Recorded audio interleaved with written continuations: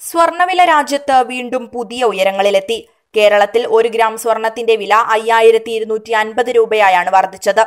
പവന്റെ വില നാൽപ്പത്തിരണ്ടായിരം രൂപയിലെത്തി. കഴിഞ്ഞ ദിവസവും സംസ്ഥാനത്ത് സ്വർണവില ഉയർന്നിരുന്നു. രാജ്യത്ത് കോവിഡ് രൂക്ഷമായി തുടരുന്നതാണ് സ്വർണവിലയെയും സ്വാധീനിക്കുന്നത്. ആഗോള സമ്പദ് വ്യവസ്ഥ തിരിച്ചുവരവിന്റെ സൂചനകൾ പ്രകടിപ്പിക്കാത്തതാണ് സ്വർണവില ഉയരുന്നതിനുള്ള പ്രധാന കാരണങ്ങളിലൊന്ന്. പ്രതിസന്ധി കാലത്ത് സുരക്ഷിത നിക്ഷേപമാണ് നിക്ഷേപകർ തേടുന്നത്. സ്വർണമാണ് നിലവിൽ നിക്ഷേപകർക്ക് മുന്നിലുള്ള ഏറ്റവും സുരക്ഷിതമായ നിക്ഷേപം. അന്താരാഷ്ട്ര വിപണിയിലും സ്വർണവില ഉയരുകയാണ്. പൂജ്യം പോയിന്റ് മൂന്ന് രണ്ട് ശതമാനത്തിന്റെ വർധനയാണ് സ്വർണവിലയിലുണ്ടായത്. ഈ വർഷം മാത്രം മുപ്പത്തഞ്ച് ശതമാനം വിലവർധനയാണ് സ്വർണത്തിനുണ്ടായത്.